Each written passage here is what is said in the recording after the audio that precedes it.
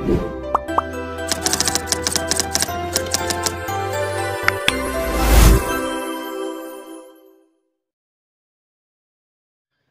દોસ્તો welcome to ટ્રાન્સજેન્ડ academy તો friends આશા રાખું છું તમે બધા મજામાં હશો, મસ્ત હશો. તો ડિપ્લોમા સેમેસ્ટર થ્રીની ટૂંક સમયમાં એક્ઝામ સ્ટાર્ટ થવાની છે. તો મને એવું લાગ્યું કે ભાઈ વિદ્યાર્થી મિત્રોને આપણે આઈએમપીને એવું બધું ટીક કરાવી દઈએ. બરાબર? તો જેથી જે કાંઈ પણ વિદ્યાર્થી મિત્રોએ હવે જે વાંચવાની શરૂઆત કરી હોય અથવા હવે વાંચવાની શરૂઆત કરવાના હોય તો એમને થોડો ફાયદો થઈ જાય ભાઈ આઈએમપી આઈએમપી બધું વ્યવસ્થિત રીતે કરી જાય, તો એ પાસ થઈ જાય, બરાબર? અને હોશિયાર વિદ્યાર્થી મિત્રો માટે તો ભાઈ આપણે એમ કહીએ કે ભાઈ એના માટે તો બધું આઈએમપી જ છે, ઓકે? એટલે એના માટે આપણે ઓવરઓલ જોવા જઈએ એને તો બધું વાંચવાનું જ હોય છે. પણ જે વિદ્યાર્થી મિત્રો હવે વાંચવાની શરૂઆત કરતા હોય છે, એટલે એવરેજ હોય છે, તો એ લોકોને આપણે આઈએમપી ટીક કરાવી દઈએ, બરાબર? જેથી વ્યવસ્થિત રીતે એ કરીને વ્યવસ્થિત તો થોડો ઘણો સારો સ્કોર થઈ જાય અને એટલીસ્ટ પાસ થઈ જાય, બરાબર?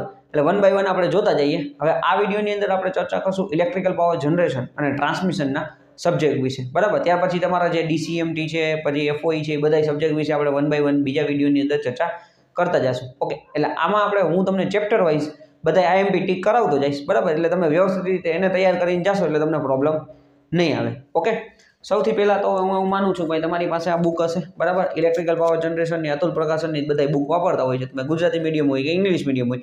પોઈન્ટ તો સેમ જ રહેવાના છે, બરાબર? હું પોઈન્ટ લખાવતો જઈશ ને સાથે સાથે ક્વેશ્ચન એ બોલતો જઈશ કે જેથી તમને પ્રોબ્લેમ ના આવે, બરાબર? હવે આ બુકની અંદર તમે જોશો તો બુકની અંદર તમારી પાસે છે ને ચેપ્ટર પાંચ ચેપ્ટર આપેલા છે, બરાબર? હવે એમાં સૌથી પહેલાં આપણે પહેલા નંબરનું ચેપ્ટર જોશું ઇલેક્ટ્રિકલ પાવરનું જનરેશન અઠ્યાવીસ માર્કનું ચેપ્ટર છે, બરાબર? પહેલું ચેપ્ટર છે એ અઠ્યાવીસ માર્કનું છે, એટલે મોસ્ટ એમપી છે, બરાબર? કારણ કે ઇઝી છે પાવર જનરેશન એટલે ત્રણ પ્રકારના આપણે પાવર જનરેશન વિશે જોવાનું છે. Thermal power station nuclear power station અને હાઇડ્રો પાવર સ્ટેશન ઓકે પછી બીજું ચેપ્ટર છે variable load on power station એ આઠ માર્કનું ચેપ્ટર છે, પણ એ પણ ઇઝી છે, કારણ કે આઠ માર્ક રોકડા છે. કારણ કે એક બે દાખલા પૂછાય છે અને આપણે એમાં વ્યાખ્યાઓ ને એવું બધું પાકું કરવાનું હોય છે, બરાબર? પછી ત્રીજા નંબરનું ચેપ્ટર છે elements of overhead line and transmission line okay પછી ચોથા નંબરનું પરફોર્મન્સ ઓફ ટ્રાન્સમિશન લાઇન ત્રીજા નંબરનું ચેપ્ટર ચૌદ માર્કનું છે અને પરફોર્મન્સ ઓફ ટ્રાન્સમિશન લાઇન બાર માર્કનું છે. અને છેલ્લું છે એચવીડીસી ટ્રાન્સમિશન સિસ્ટમ એ પણ આઠ માર્કનું છે. પણ એમાંથી એ બે બેઝિક છે બે ત્રણ ક્વેશ્ચન પૂછાય છે. ત્રણ માર્કના, ચાર માર્કના એવા, એટલે તમારે આરામથી એમાં આવી જાય એવા જ ક્વેશ્ચન છે. ઓકે અને સૌથી ઇઝી સબ્જેક્ટ હોય તો ઇપીજીટી છે, બરાબર? તમારા થર્ડ સેમેસ્ટરની અંદર. એટલે વન બાય વન આપણે જોતા જઈએ. ચેપ્ટર નંબર વનની અંદર આપણે શરૂઆત કરીએ છીએ, બરાબર? ચેપ્ટર નંબર વનની અંદર સૌથી પહેલાં આપણે જોવાનું છે ભાઈ તમારા one point four point two બરાબર? આપણે ચેપ્ટર નંબર વનની અંદર આઈએમપી આપણે ટીક કરતા જઈએ છીએ. પાવર જનરેશન બરાબર? સૌથી પહેલાં એમાં તમારે જોવાનું થશે one point four point two પહેલા નંબરનો ક્વેશ્ચન છે ભાઈ થર્મલ પાવર સ્ટેશન માટેના સ્થળની પસંદગી. ચાર માર્કની અંદર ક્વેશ્ચન પૂછાય છે. બરાબર? થર્મલ પાવર સ્ટેશનના સ્થળની પસંદગી one point four point two એનો જે બેઝિક મુદ્દાઓ છે, એમાં જે આ ગ્રાફવાળું છે ને, બરાબર? કે પાવર સ્ટેશન ક્યાં સ્થાપવું જોઈએ, એની કાંઈ જરૂર નથી. બાકી બેઝિક જે મુદ્દા આપેલા છે એ બધા તમારે વ્યવસ્થિત રીતે તમારે તૈયાર કરી લેવાના થશે. ઓકે?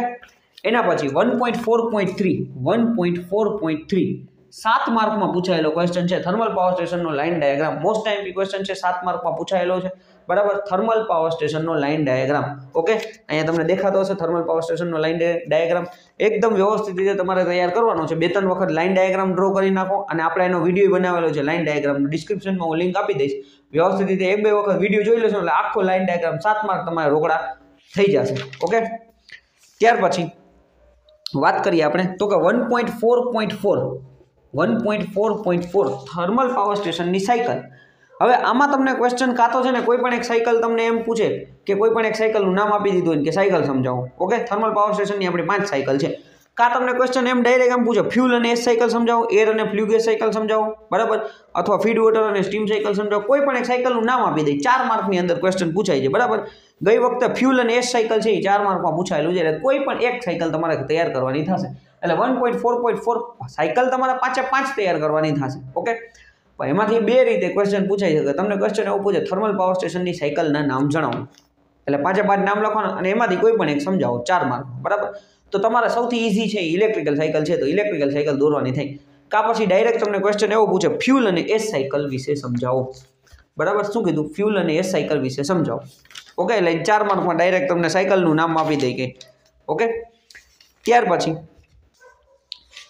પેજ નંબર તમે વયા આવશો, બરાબર? તો કે પેજ નંબર અગિયારની અંદર, તો એમાં તમને છે ને પેજ નંબર અગિયારની અંદર તમને super heater economiser super heater economiser અને એના પછી પેજ નંબર બારની અંદર ફોસ્ટ ડ્રાફ્ટ ફેન બરાબર? FD fan air pre heater આ તમને છે ને વ્યાખ્યા પૂછાય છે ત્રણ માર્કમાં સુપર હીટરનું કામ શું છે? બરાબર?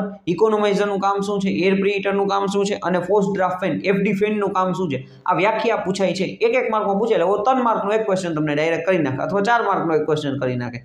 ઓકે ઇલેક્ટ્રોસ્ટેટિક પ્રેસિપ્રિટેટર છે. બરાબર? એ પણ તમને ત્રણ માર્કની અંદર પૂછાઈ શકે એ પેજ નંબર બારની અંદર છઠ્ઠા નંબરનો ટોપિક છે. ટીક કરી નાખજો. ઓકે? ત્યાર પછી આપણે સીધા આવી જઈએ છીએ. એટલે સાયકલ બધી કહી દઉં છું. સાયકલની અંદર આપણે પછી શું છે? કંઈ વધારે આપણે એક એક ટોપિક તમને ટીક નથી કરાવતો. સાયકલ તમારે પાંચે પાંચ તૈયાર કરી લેવાની થશે. એમાંથી કોઈ પણ એક પૂછાઈ શકે છે અથવા તમારે કોઈ પણ એક દોરવાની થશે. બરાબર? ડાયાગ્રામ આમાં મહત્વની વસ્તુ છે. જો ડાયાગ્રામ તમારું સાચા હશે ને એટલે પચાસ ટકા કામ તમારું કમ્પ્લીટ થઈ ગયું. બરાબર? એટલે ડાયાગ્રામ વ્યવસ્થિત હશે ને એકદમ સાચે સાચા તો તમારું પચાસ ટકા કામ થઈ ગયું, એટલે ભાઈ તો પછી થિયરી ઉપર જોવાનું ઓછું થઈ જશે. બરાબર? તો તમને પૂરેપૂરા માર્ક મળવાની શક્યતા થઈ જશે. ચાલો થર્મલ પાવર સ્ટેશનની અંદર છે ને, આટલું તમારે એની અંદર મહત્વનું છે. બરાબર? બાકી કાંઈ વધારે એટલું જવાનું જરૂર નથી. સાયકલને બધું એટલું વ્યવસ્થિત રીતે કરો એટલે તમારું ત્યાંથી થઈ જશે થર્મલ પાવર સ્ટેશનની અંદર. એના પછી થર્મલ પાવર સ્ટેશનના ફાયદા, ગેરફાયદા. બરાબર? One point four point eight ચાલો one point four point eight એટલે આટલું તમારું છે ને ટીપીએસમાંથી થઈ ગયું થર્મલ પાવર સ્ટેશનમાંથી ચાલો ઓકે હવે એના પછી આપણે સીધા વયા જઈએ છીએ ન્યુક્લિયર પાવર સ્ટેશનની અંદર. ચાલો ઓકે હાઇડ્રો આપે છે. તો પહેલાં હાઇડ્રોમાં જ લઈ લઈ બરાબર? હાઇડ્રોની અંદર તમે જોશો તો હાઇડ્રોની અંદર સૌથી પહેલાં one point nine point two one point nine point two બરાબર? હાઇડ્રો પાવર સ્ટેશનના ફાયદા અને ગેરફાયદા. ત્રણ માર્કમાં ક્વેશ્ચન પૂછાય છે. હાઇડ્રો પાવર સ્ટેશનના ફાયદા જણાવો ત્રણ માર્ક અથવા ફાયદા ગેરફાયદા, બે પૂછાય તો ચાર માર્ક ઓકે એના પછી તમે જો site selection of hydro power station એના પછીનો ક્વેશ્ચન છે one point nine point three બરાબર? Site selection of hydro power station okay હવે એના પછી તમે સીધા આવી જાવ કે ભાઈ one point nine point five one point nine point five hydro power સ્ટેશનના અંગો હાઇડ્રો પાવર સ્ટેશનના અંગો elements of hydro power station સાત માર્કની અંદર ક્વેશ્ચન પૂછાણો છે. ગઈ વખતના એક્ઝામમાં બરાબર? સાત માર્કમાં ક્વેશ્ચન પૂછવાનો છે. જેટલા સાત સાત માર્ક વાળા છે ને એ બધા હું સેવન સેવન લખતો જાય છે. એટલે જેથી તમને આઈડિયા આવતો જાય કે ભાઈ આવા સાત સાત માર્કમાં આવા ક્વેશ્ચન પૂછાય છે. ઓકે એટલે રિઝર્વાયર કેચમેન્ટ એરિયા ડેમ ડેમના પ્રકાર, અર્જન ડેમ પછી આપણે masonry dam concrete dam spillways ને એના વિશે તમારે બધુંય સમજાવવાનું છે. આ સાત માર્કમાં ક્વેશ્ચન પૂછાયેલો છે. ત્યાર પછી આપણે આગળ વધીએ. તો કે, ટર્બાઇન ત્રણ માર્કની અંદર પૂછે. કોઈ પણ એક ટર્બાઇન, ટર્બાઇનના પ્રકાર જણાવો ને, કોઈ પણ એક ટર્બાઇન સમજાવો. બરાબર? ટર્બાઇન. ત્રણ માર્કમાં ક્વેશ્ચન પૂછાયેલો છે. બરાબર? કોઈ પણ એક ટર્બાઇન સમજાવો. આવું તમને કીધેલું છે. ત્યાર પછી હવે હાઇડ્રો પાવર સ્ટેશનમાં ઓકે ઇનફ હાલો હાઇડ્રો પાવર સ્ટેશનમાં આટલું આપણને કામ લાગશે. બરાબર? ફાયદા, ગેરફાયદા આપણે જોઈ લીધું બધું. જે જે ટોપિક હું લખાવતો જાઉં છું બધા વ્યવસ્થિત રીતે તમારે તૈયાર કરવાના થશે. હવે એના પછી ન્યુક્લિયર પાવર સ્ટેશનની અંદર આવી જાય. ન્યુક્લિયર પાવર સ્ટેશનની અંદર તમે જોશો તો મોસ્ટ મોસ્ટ મોસ્ટ આઈએમપી છે ન્યુક્લિયર ફ્યુઝન ને ન્યુક્લિયર ફિઝન બરાબર? બે આપણી ટોપિક થશે, બરાબર? એક તો ન્યુક્લિયર ફ્યુઝન ન્યુક્લિયર ફ્યુઝન અને ન્યુક્લિયર ફ્યુઝન આ પ્રોસેસ આપણે ખાસ તૈયાર કરવાની થશે ન્યુક્લિયર ફ્યુઝન અને ફ્યુઝન બેમાંથી કોઈ પણ એક તમને ત્રણ માર્કની અંદર પૂછાઈ શકે, અથવા બે બે પ્રોસેસ તમને ત્રણ માર્કની અંદર પૂછાઈ જાય છે, બરાબર? ત્યાર પછી ન્યુક્લિયર ફ્યુઝન અને ફ્યુઝન પછી આપણે તમારે જોવાનું છે direct main elements of nuclear reactor main elements of એટલે એક પોઈન્ટ દસ પોઈન્ટ ચાર. મેઇન ઇલેમેન્ટ્સ આપણે ન્યુક્લિયર રિએક્ટરના મેઇન ઇલેમેન્ટ બરાબર? જેમ કે ભાઈ કંટ્રોલ રોડ શું છે? રિફ્લેક્ટર છે મોડરેટર શું કાર્ય કરે છે? એ. અને એક પોઈન્ટ દસ પોઈન્ટ છ. એક પોઈન્ટ દસ પોઈન્ટ છ. આ તમને સાત માર્કમાં ક્વેશ્ચન પૂછાયેલો છે. એક પોઈન્ટ દસ પોઈન્ટ છ પણ સાત માર્કમાં પૂછાયેલો છે. બરાબર? હવે એના પછી સાત માર્કમાં same as it is nuclear power સ્ટેશનનો એક પોઈન્ટ દસ પોઈન્ટ સાત. આ પણ સાત માર્કમાં ક્વેશ્ચન અથવા અથવામાં છે. બરાબર? ન્યુક્લિયર પાવર સ્ટેશનનો સ્કીમેટિક ડાયાગ્રામ આ પણ મોસ્ટ આઈમ્પી ક્વેશ્ચન છે. ઓકે ત્યાર પછી મોસ્ટ આઈમ્પી એના પછી એક પોઈન્ટ એક પોઈન્ટ દસ પોઈન્ટ અગિયાર, એ પણ સાત માર્કની અંદર છે. સોરી ચાર માર્કની અંદર છે. બરાબર? ચાર માર્કમાં તમને પૂછાયેલો છે. ન્યુક્લિયર વેસ્ટનો નિકાલ. Okay nuclear waste and disposition આ તમારે તૈયાર કરવાનું થશે. અને એના પછી જે એક પોઈન્ટ દસ પોઈન્ટ બાર ફાયદા અને ગેરફાયદા ન્યુક્લિયર પાવર સ્ટેશનના ફાયદા અને ગેરફાયદા, એક પોઈન્ટ દસ પોઈન્ટ બાર. ચાલો. આટલું તમારે છે ને nuclear power station chapter number વનની અંદરથી તમે આટલું તૈયાર કરીને વ્યવસ્થિત અને એક આપણે છે ને એનર્જી કન્વર્ઝન ડાયાગ્રામ પણ તૈયાર કરી લેજો, બરાબર? એટલે આટલા ટોપિક તમે વ્યવસ્થિત રીતે તમે કરીને જશો એટલે ચેપ્ટર નંબર વનમાંથી અઠ્યાવીસ માર્કનું પૂછાય છે. બરાબર? એટલે અઠ્યાવીસ માર્કનું તમને પૂછાય છે, તો આ તમને આરામથી તમને છે ને ચેપ્ટર નંબર વન તમે વ્યવસ્થિત રીતે કરો ને તો તમને પાસ થવા તરફ આગળ. લઈ જશે. ઓકે એટલે આટલું એકદમ વ્યવસ્થિત રીતે તમારે તૈયાર કરવાનું થશે. હવે સીધા આવી જાય આપણે ચેપ્ટર નંબર ટુની અંદર. ચેપ્ટર નંબર ટુની અંદર તમે જોશો, તો હું તમને કહેતો જાઉં છું, બરાબર? વન બાય વન તમે બુક કાઢતા રાખજો, બરાબર? ચેપ્ટર નંબર ટુની અંદર સૌથી પહેલાં તમારે છે ને વ્યાખ્યા કરવાની થશે. આ વિવિધ લોડને કંઈ કરવાની જરૂર નથી, બરાબર? વ્યાખ્યા તમારે બધી રીતે વ્યવસ્થિત રીતે તૈયાર કરવાની થશે. બે પોઈન્ટ પોઈન્ટ એક એટલે કે કનેક્ટેડ લોડ ફેક્ટર પછી બે પોઈન્ટ ત્રણ પોઈન્ટ બે ડિમાન્ડ ફેક્ટર પછી બે પોઈન્ટ ત્રણ point connected load factor diversity factor અને ડાયવર્સિટી ફેક્ટરનો દાખલો અને કોઇન્સિડન્સ ફેક્ટર બરાબર? કો ઇન્સિડન્સ ફેક્ટર અને આનો દાખલો હશે ને તો એવા એક બે દાખલા હું તમને નેક્સ્ટ વિડીયોની અંદર કે એવું કંઈક કરીશ કે વીડિયો તમને કે ભાઈ ડાયરેક્ટ ત્રણ અથવા ચાર માર્કમાં દાખલો પૂછાય છે, તો એ પણ હું વિડીયોની અંદર તમને કવર કરાવી દઈશ. ટાઈમ મળશે ને તો. બરાબર? એટલે આ તો વ્યાખ્યાનું જ છે. બરાબર? ઓવરઓલ બધા સૂત્રો નહીં આપેલા છે. બધા સૂત્રો તમારે આખે આખા બધા વ્યવસ્થિત રીતે તૈયાર કરવાના થશે. આપણા વોટ્સઅપ ગ્રુપની અંદર હું એકદમ આખો છે ને બધા એક એક લિસ્ટ મોકલી દઈશું ફોટોનું. મતલબ એક આખો ફોટો બરાબર કે ભાઈ બધી વ્યાખ્યા એની અંદર આવી જાય એક જ લિસ્ટની અંદર તમારે તૈયાર થઈ જાય. આઠ માર્કનું તમને વ્યવસ્થિત રીતે એમાંથી તૈયાર થઈ જાય. દાખલો તમને આરામથી આવડી જશે. બરાબર? હવે એના પછી મોસ્ટ મોસ્ટ મોસ્ટ એમપી છે ભાઈ બે પોઈન્ટ સાત પોઈન્ટ એક લોડ કરવામાંથી મળતી માહિતી. ચેપ્ટર નંબર ટુની અંદર. બરાબર? બે પોઈન્ટ સાત પોઈન્ટ એક લોડ કરવામાંથી મળતી માહિતી. આ ત્રણ માર્કની અંદર મોસ્ટ એમપી ક્વેશ્ચન છે, લોડ કરવામાંથી મળતી માહિતી. ઓકે વ્યાખ્યા તો બધી તૈયાર કરવાની છે, પણ અહીંથી આપણે ત્રણ માર્કનું થયું અને એક દાખલો તમને પૂછાય છે. ત્યાર પછી લોડ ડ્યુરેશન કરવો. બરાબર? લોડ ડ્યુરેશન કરવો. અને બેઝ લોડ અને બે પોઈન્ટ અગિયારની તૈયાર કરી લેજો. બેઝ લોડ અને peak load power station base load અને પીક લોડ પાવર સ્ટેશન વિશે ચર્ચા કરવાની છે. બરાબર? અને બાકી આમાં સેમ એઝ ઇટ ઇઝ પાછા plant capacity factor plant use factor અને યુટિલાઇઝેશન ફેક્ટર આ બધાના દાખલા અને સૂત્ર. એટલે એ તમને નાના નાના સૂત્ર તમને ત્રણ માર્કમાં પૂછી લઈ કા પછી તમને એક નાનકડો ત્રણ માર્કનો દાખલો પૂછી લે. ઓકે? આઠ માર્કનું ટોટલ ચેપ્ટર છે, એટલે તમારે લખવાનું આઠ માર્કનું થાય, એ પ્રમાણે તમારે તૈયાર કરવાનું થશે. બરાબર? ચેપ્ટર નંબર ટુમાં તમે આટલું વ્યવસ્થિત રીતે કરશો, એટલે થશે ને. દાખલા હું તમને છે ને પરીક્ષામાં પૂછાયેલા હોય ને, તો એક બે દાખલા હું નેક્સ્ટ વિડીયોની અંદર કવર કરાવી દઈશ, એટલે તમને વાંધો નહીં આવે. એના પછી હવે આપણે આગળ વધીએ. ચેપ્ટર નંબર થ્રી ઉપર આપણે જઈએ. ચેપ્ટર નંબર થ્રીની અંદર તમે જોશો, તો મોસ્ટ આઈએમપીની અંદર સૌથી પહેલાં બે પોઈન્ટ ત્રણ પોઈન્ટ ચેપ્ટર નંબર થ્રી ત્રણ પોઈન્ટ ચાર પોઈન્ટ એક, બરાબર? ત્રણ પોઈન્ટ ચાર પોઈન્ટ એક. ડીસી અને એસી ટ્રાન્સમિશનની તુલના. ડીસી અને એસી ટ્રાન્સમિશનની કમ્પેરિઝન કમ્પેરિઝન ઓફ ડીસી અને એસી ટ્રાન્સમિશન એના પછી ત્રણ પોઈન્ટ ચાર પોઈન્ટ બે. ત્રણ પોઈન્ટ ચાર પોઈન્ટ બે. બરાબર? ઓવરહેડ અને અંડરગ્રાઉન્ડ આ સાત માર્કમાં પૂછાયેલો ક્વેશ્ચન છે. ઓવરહેડ અને અંડરગ્રાઉન્ડ છે ને, એ સાત માર્કમાં પૂછાયેલો ક્વેશ્ચન છે. ઓકે ઓવરહેડ અને અંડરગ્રાઉન્ડ સિસ્ટમની તુલના. કમ્પેરિઝન ઓફ ઓવરહેડ સિસ્ટમ અને અંડરગ્રાઉન્ડ સિસ્ટમ ત્યાર પછી ત્રણ પોઈન્ટ પાંચ છે, બરાબર? ત્રણ પોઈન્ટ પાંચ છે ને એ સૂત્ર સાબિતી છે સિસ્ટમ વોલ્ટેજ અને પાવર ફેક્ટરની અસર. સિસ્ટમ વોલ્ટેજ અને પાવર ફેક્ટરની અસર. એટલે બેઝિક તમે છે ને ખાલી થિયરી પોર્શન કરી લેજો. જો તમને સૂત્ર સાબિતી આવડતી ન હોય તો. બાકી જે લોકોને સૂત્ર સાબિતી આવડતી હોય તો એ છે ને એફિશિયન્સી વાળું સૂત્ર મોસ્ટ ટાઈમ બી છે. એફિશિયન્સીવાળું સૂત્ર પૂછાયેલું હતું. બીજા નંબરનું જે છે ને સિસ્ટમ વોલ્ટેજ અને પાવર ફેક્ટર ટ્રાન્સમિશન એફિશિયન્સી ઉપર અસર. પેજ નંબર હંડ્રેડ ઉપર હશે. ગુજરાતીની બુક હશે ને તો. એટલે એ તમે તૈયાર કરી શકો છો. ઓકે ત્યાર પછી આપણે સીધા વયા જઈએ ક્યાં? તો કે ભાઈ ઓવરહેડ ટ્રાન્સમિશન લાઇનના જરૂરી લક્ષણો ત્રણ પોઈન્ટ છ પોઈન્ટ એક three point six point one બરાબર? ઓવર ટ્રાન્સમિશન લાઇનના જરૂરી લક્ષણો. કેરેક્ટરિસ્ટિક છે ને, બરાબર? જો પોલ છે ઇન્સ્યુલેટર છે કંડક્ટર આ બધાના જે જરૂરતના શરૂઆતના લક્ષણો છે ને, બરાબર, વાહકના જરૂરી કેરેક્ટરિસ્ટિક એ બધું વ્યવસ્થિત રીતે તમારે તૈયાર કરી લેવાનું થશે. ત્યાર પછી આપણે ઓકે ઓવરહેડ ટ્રાન્સમિશન લાઇનના વાહકના એટલે three point six point one ત્યાર પછી આપણે જોવાનું થશે ભાઈ એસીએસઆર કંડક્ટર એસીએસઆર કંડક્ટર બરાબર? અને એના પછી બંડલ કંડક્ટર, ભાઈ, બંડલ કંડક્ટર ત્રણ માર્કમાં પૂછાયેલું છે.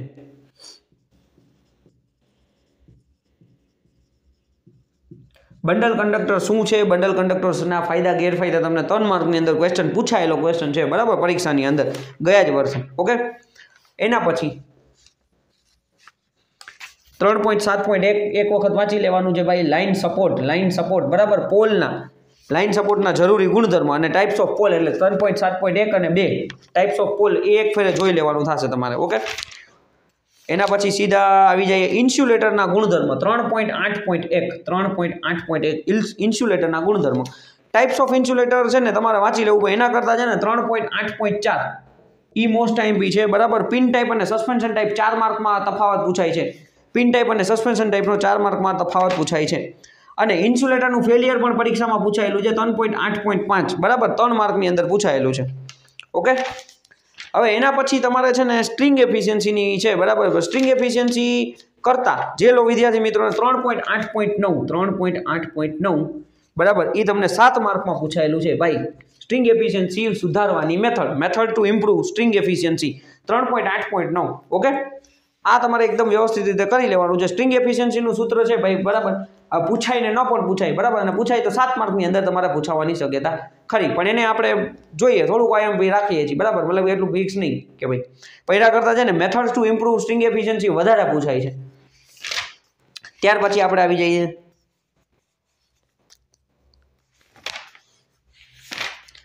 સેગની અંદર, બરાબર? તો સેગને અસર કરતા પરિબળો three point nine point two સેગને અસર કરતા પરિબળો આપણે જોવાના છે, બરાબર? અને બેઝિક જે સાદું છે ને સેગનું સૂત્ર સપો સમતલ સપોર્ટ માટે સેગની ગણતરી three point nine point two three point nine point three sorry three point nine point three basic સેગનું જે સૂત્ર છે ને W L square upon eight T એ સૂત્ર કરી લાગજો બાકી આ પવનની અસર ને એવું બધું બહુ રેર કેસમાં પૂછાતું હોય છે, બરાબર? અને આમાંથી શેકમાંથી એક દાખલો તમને પૂછાતો હોય છે. શેકમાંથી કોઈ પણ એક દાખલો તમને પૂછાતો હોય છે, બરાબર? એટલે ચેપ્ટર નંબર થ્રી અહીંયા આપણું કમ્પ્લીટ થાય છે. બરાબર? આટલું તમે વ્યવસ્થિત રીતે ચેપ્ટર નંબર થ્રીમાંથી કરી લેશો એટલે તમને વાંધો નહીં આવે. ઓકે દાખલાને એવા બધા જે વિદ્યાર્થી મિત્રોને દાખલામાં એમાં પ્રોબ્લેમ પડતી હોય તો એ થિયરી પોર્શન ઉપર વધારે ધ્યાન આપે. ત્યાર પછી હવે આપણે આવી જઈએ ચેપ્ટર નંબર ફોરની અંદર. ચેપ્ટર નંબર ફોરની અંદર મોસ્ટ આઈએમપી તમારે થશે.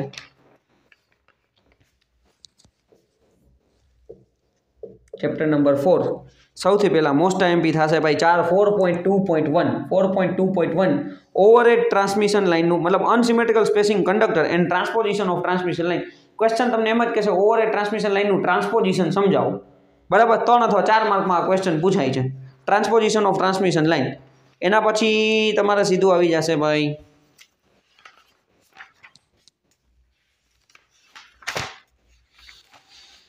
ચાર પોઈન્ટ છ. Most most most IMP skin effect બરાબર ચાર માર્કની અંદર પૂછાયેલું છે સ્કિન ઇફેક્ટ અને સ્કિન ઇફેક્ટને અસર કરતા પરિબળો. પ્રોક્સિમિટી ઇફેક્ટ એટલું આઈએમપી નથી.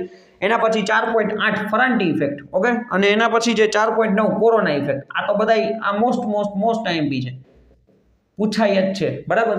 ચાર પોઈન્ટ આઠ, ચાર પોઈન્ટ છ, ચાર પોઈન્ટ આઠ, ચાર પોઈન્ટ નવ ઓકે પછી એના પછી આપણે જોઈએ તો કે ટ્રાન્સમિશન લાઇનનું વોલ્ટેજ રેગ્યુલેશનનું કામ શોર્ટ ટ્રાન્સમિશન લાઇનનું કાંઈ કામનું નથી. બરાબર? જવા દો સીધા તમે આવી જાઓ મીડિયમ ટ્રાન્સમિશન લાઇનના પરફોર્મન્સની અંદર નોમિનલ પાય અને નોમિનલ ટી ચાર પોઈન્ટ ચાર પોઈન્ટ ચૌદની અંદર, બરાબર? એમાં તમે જોશો નોમિનલ પાય અને nominal T method nominal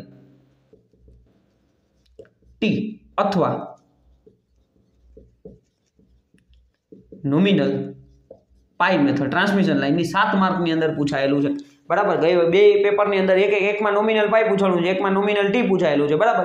એટલે પાછલા પેપરની અંદર બેમાંથી એક એક તમને પૂછાઈ ગયું છે, ભાઈ સાત માર્કની અંદર ક્વેશ્ચન પૂછાય છે. નોમિનલ પાઈ મેથડ સમજાવો. મીડિયમ ટ્રાન્સમિશન લાઇન માટેનું અથવા નોમિનલ ટી મેથડ સમજાવો. બેમાંથી કોઈ પણ એક આવી શકે છે.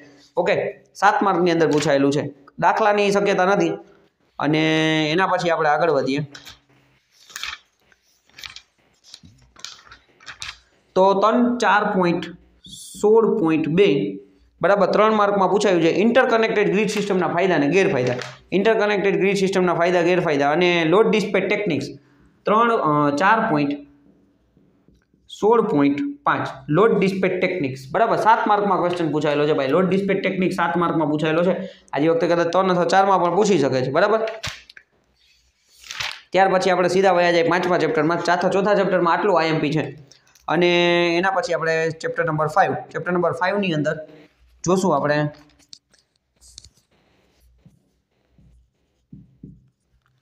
ત્રણ, પાંચ પોઈન્ટ ત્રણ પોઈન્ટ એક, પાંચ પોઈન્ટ ત્રણ પોઈન્ટ એક, ત્રણ માર્કનો ક્વેશ્ચન છે. Extra high voltage AC transmission સિસ્ટમના ફાયદા સોરી ગેરફાયદા લિમિટેશન મુશ્કેલીઓ. બરાબર? એટલે ફાયદા, ગેરફાયદા, એની ઉપર પાંચ પોઈન્ટ ત્રણેય તમે જોઈ લેજો. બરાબર? એટલે ઉપર ફાયદા અને ગેરફાયદા. બેય જોઈ લેજો. એટલે આપણે કદાચ ફેરવીને પૂછ્યા જે વખતે ફાયદા, ગેરફાયદા બે પૂછી લઈએ એટલે ઈએચવી એસી ટ્રાન્સમિશનના ફાયદા અને એની નીચે જે એ ઈએચવી એસી ટ્રાન્સમિશન સિસ્ટમના ગેરફાયદા, લિમિટેશન અથવા મુશ્કેલીઓ. તો પાંચ પોઈન્ટ તો આપણે જે છે પાંચ પોઈન્ટ ત્રણ પોઈન્ટ એક વ્યવસ્થિત રીતે જોઈ લેજો. ત્યાર પછી most most most MP question છે તમારા માટે પાંચ પોઈન્ટ ચાર. બરાબર? એટલે પાંચ પોઈન્ટ ચાર વાળો, બરાબર? ફાઇવ પોઈન્ટ ફોર એની અંદર જે પાંચ પોઈન્ટ એક વાળી આકૃતિ છે ને, એ પાંચ પોઈન્ટ એક વાળી આકૃતિ. પછી પાંચ પોઈન્ટ ચાર પોઈન્ટ એક five point four point one હવે હાઈ વોલ્ટેજ ડીસી ટ્રાન્સમિશનની સ્કીમની જે ડાયાગ્રામ છે એ તમને પૂછાય છે ત્રણ માર્કની અંદર. અને એચવીડીસીટીના ફાયદા એચવીડીસીટીના ફાયદા, બરાબર? સાત માર્કમાં પૂછાયેલા છે એચવીડીસીટીના ફાયદા. સાત માર્કનો ક્વેશ્ચન છે ભાઈ હાઈ વોલ્ટેજ ડીસી ટ્રાન્સમિશન સિસ્ટમના ફાયદા જણાવો. ફાયદા, ગેરફાયદા બે હશે, ખાલી નહીં હોય, ફાયદા જ નહીં હોય. ઓકે એના પછી પાંચ પોઈન્ટ ચાર પોઈન્ટ અહીંયા લખું છું, બરાબર? પાંચ પોઈન્ટ ચાર પોઈન્ટ ત્રણ. આ પણ સાત માર્કમાં ક્વેશ્ચન પૂછાયેલો છે હાઈ વોલ્ટેજ ડીસી સિસ્ટમના પ્રકારો. મોનોપોલાર બાયપોલાર બરાબર હોમોપોલાર ને બેક ટુ બેક સિસ્ટમ તો આ તમને સાત માર્કની અંદર ક્વેશ્ચન પૂછાયેલો છે. ઓકે અને એના પછી સીધે સીધું તમારે બીજું કાંઈ કામનું નથી. પાંચ પોઈન્ટ પાંચ. એચવીડીસી ને એચવીએસીનો તફાવત. આટલું વ્યવસ્થિત રીતે આ તમને ત્રણ કે ચાર માર્કની અંદર તમે આવી શકે છે. બરાબર?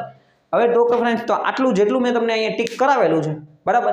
એ બધુંય તમે વ્યવસ્થિત રીતે વાંચીને જાશો, એટલે તમને પ્રોબ્લેમ નહીં આવે. બની શકે ભાઈ, એવું થઈ શકે ભાઈ, થોડુંક આગળ પાછળ ઉપર બીજા બહારના ક્વેશ્ચન આવી શકે, બરાબર? ઘણી ઘણી વખત એવું હોય કે એ લોકો શોર્ટ ટ્રાન્સમિશન લાઇનમાંથી ક્વેશ્ચન પૂછી લે. તો આપણે જે વાંચીને ગયા છીએ, એના ઉપર પૂરતે પૂરું ફોકસ તમારે કરવાનું થશે, એટલે તમને વાંધો નહીં આવે, બરાબર? ક્વેશ્ચન નંબર વનથી અહીંયા આપણે ચેપ્ટર વનથી લઈને ચેપ્ટર નંબર ફાઇવ સુધીનું મેં બધું તમને વ્યવસ્થિત રીતે લખાવી દીધું છે. જેટલા આઈએમપી આઈએમપી કરાવ્યા છે, બરાબર? એટલું વ્યવસ્થિત રીતે તમારે વાંચીને જવાનું છે. હવે વાંચવાનું કેવી રીતના છે? તો કે તમે સમજો, બરાબર? અત્યારે ઓવરઓલ વીસ પચીસ દિવસ તમારા એક્ઝામને બાકી છે. રોજના બે ત્રણ બે ત્રણ ક્વેશ્ચન તમે તર કરતા જાઓ. બરાબર? અહીંથી તમે જોશો તો એક, બે, ત્રણ, ચાર, પાંચ, છ, સાત, આઠ, નવ નવ, દસ, અગિયાર, બાર, તેર, ચૌદ. એટલે ચેપ્ટર નંબર વનમાંથી ચૌદ ક્વેશ્ચન થયા. પણ સામે તમારા અઠ્યાવીસ માર્કનું ચેપ્ટર છે. બરાબર? જ્યારે ચેપ્ટર નંબર ટુમાંથી બે અને દાખલા. બરાબર? બે બે ક્વેશ્ચન છે ને દાખલા. ઓકે ચૌદ, પંદર, સોળ. અને એક આપણે દાખલાનો ક્વેશ્ચન આપણે રહી એટલે સત્તર. પછી ચેપ્ટર નંબર ત્રણ, અઢાર, ઓગણીસ, વીસ, એકવીસ, બાવીસ, ત્રેવીસ, ચોવીસ, પચીસ, છવ્વીસ, સત્યાવીસ, અઠ્યાવીસ, ઓગણત્રીસ ને ત્રીસ. ત્રીસ ક્વેશ્ચન થયા, ક્યાં સુધી? ત્રણ. પછી આપણે ચેપ્ટર નંબર ફોરની અંદર વન ટુ એટલે એકત્રીસ, બત્રીસ, તેત્રીસ, ચોત્રીસ, પાંત્રીસ, છત્રીસ, સાડત્રીસ ને આડત્રીસ ક્વેશ્ચન થયા. ઓગણચાલીસ, ચાલીસ, એકતાલીસ, બેતાલીસ ને તેતાલીસ. ટોટલ તેતાલીસ ક્વેશ્ચન તમારા બહીને ડેઇલીના ત્રણ ત્રણ ક્વેશ્ચન પાકું કરવાના ચાલુ કરી દો બરાબર? ડેઇલીના તમે એટલે પંદર તેરી પિસ્તાલીસ. ઓકે તો પંદર દિવસમાં તમારો આખો સબ્જેક્ટ વ્યવસ્થિત રીતે તૈયાર થઈ જશે. કેવી રીતના લેવાનું? કોઈ પણ એક ચેપ્ટર લેવાનું? તમે એક ચેપ્ટર લીધું, એક ચેપ્ટરની અંદર તમે શું કર્યું? તો કે ભાઈ કોઈ પણ એક આપણો ટોપિક લીધો, એટલે કે જે ક્વેશ્ચન છે એ ક્વેશ્ચન લીધો, એને ત્રણ વખત વાંચો. બરાબર? એ એક જ સબ્જેક્ટની અંદર, એક જ ચેપ્ટરની અંદર આપણું તમારું જે આપણું જે તમે ક્વેશ્ચન લ્યો છો એ ક્વેશ્ચનને વ્યવસ્થિત રીતે ત્રણ વખત વાંચો. ઓકે? જેટલા પણ ડાયાગ્રામ છે એ ડાયાગ્રામને તમારા જાતે પહેલાં જોઈ જોઈને દોરો, પછી મોઢે દોરવાની ટ્રાય કરો. તો તમને એક્ઝામની અંદર ફાયદો થશે. કારણ કે હાથ બેસવો જોઈએ, આપણો હાથ નહીં બેસે ને તમે તમારે ડાયાગ્રામ ડ્રો નહીં કરો પરીક્ષામાં ડાયરેક્ટ ડાયાગ્રામ દોરાશે નહીં. અને જે ક્વેશ્ચનની અંદર ડાયાગ્રામ આવે છે ને તેમાં સૌથી મોટો ફાયદો છે, પચાસ ટકા કામ તો ડાયાગ્રામ કરી દેશે. એટલે જે કાંઈ પણ લખવાનું છે ડાયાગ્રામમાં જોઈને લખવાનું છે. એ ફાયદો થઈ ગયો. અને ડાયાગ્રામ સાચો હશે ને તો લખાણ જોવાની શક્યતા ઓછી થઈ જશે. તમને ડાયરેક્ટ પૂરેપૂરા માર્ક મળી જશે. અને મોસ્ટ ટાઈમ બી સાત માર્કવાળા ક્વેશ્ચનને વધારે વધારે પ્રાયોરિટી આપો. બરાબર? કારણ કે એ ઓછા ક્વેશ્ચન હશે પણ મોસ્ટ મોસ્ટ મોસ્ટ બી હશે. તો એ બધાને તમે એકદમ પરફેક્ટ તૈયાર કર્યા ને બરાબર, તો તમને ફાયદો એ થશે ભાઈ એક મોટો ક્વેશ્ચન તમને આવડી ગયા. સાત માર્કવાળા પાંચ ક્વેશ્ચન લખવાના થાય છે. પાંચેક પાંચ ક્વેશ્ચન તમે વ્યવસ્થિત કર્યા હોય, બરાબર? તો પાંચ પાંચ માર્ક આપે તો એ સાત પચાસ, એટલે મતલબ કે પાંચ પચું પચું, પચીસ ક્વેશ્ચન પચીસ માર્ક તો તમને એમનેમ આવી ગયા. હજી બે ને ત્રણ માર્કવાળા તો ક્વેશ્ચન બધા પેન્ડિંગ પડ્યા છે, બરાબર? તો એટલે સારો સ્કોર પણ કરી શકો છો આનાથી. અને સાથે સાથે ભાઈ જે જે લોકોએ કંઈ વાંચ્યું જ નથી, કંઈ તૈયારી નથી કરી, તો ભાઈ થોડો ઘણો તમે બસ પંદર દિવસ વ્યવસ્થિત તૈયારી કરો ને, તો તમે સારા માર્કે પાસ થઈ શકો છો, બરાબર? એટલીસ્ટ પાસ તો થઈ જ શકો છો. સારા માર્કે માનો કે ભાઈ હાવ છેલ્લે છેલ્લે વાંચવાની તૈયારી કરે છે તો એના પ્રમાણે. પાસ થવાની ફેલ થવાના ચાન્સ ઓછા થઈ જાય. એટલે આ રીતના મેં છે ને તમે વ્યવસ્થિત રીતે ટીક કરાવ્યું છે. જેટલું પણ ટીક કરાવ્યું એટલું વ્યવસ્થિત રીતે કરી નાખો, એટલે વાંધો નહીં આવે. દાખલાને એવું હશે તો હું કંઈક નેક્સ્ટ બીજા વિડીયોની અંદર દાખલાને એવું બધું હું તમને કહેતો જઈશ બરાબર? નેક્સ્ટ વિડીયોની અંદર આપણે ડીસીએમટી છે, પછી ઈપીજીટી આપણે ઈઆઈ છે, ત્યાર પછી એફઓઈ છે, એ બધા સબ્જેક્ટનું પણ હું તમને આઈએમપી ટીક કરાવતો જઈશ. ઓકે? આનો તમારે સ્ક્રીનશોટ લેવો હોય તો સ્ક્રીનશોટ લઈ લેજો, નકર આપણું વોટ્સઅપ ગ્રુપ છે ડિપ્લોમા ડિગ્રીનું બરાબર? એની અંદર હું આ ફોટો તમને મોકલી દઈશ. ઓકે? Thank you friends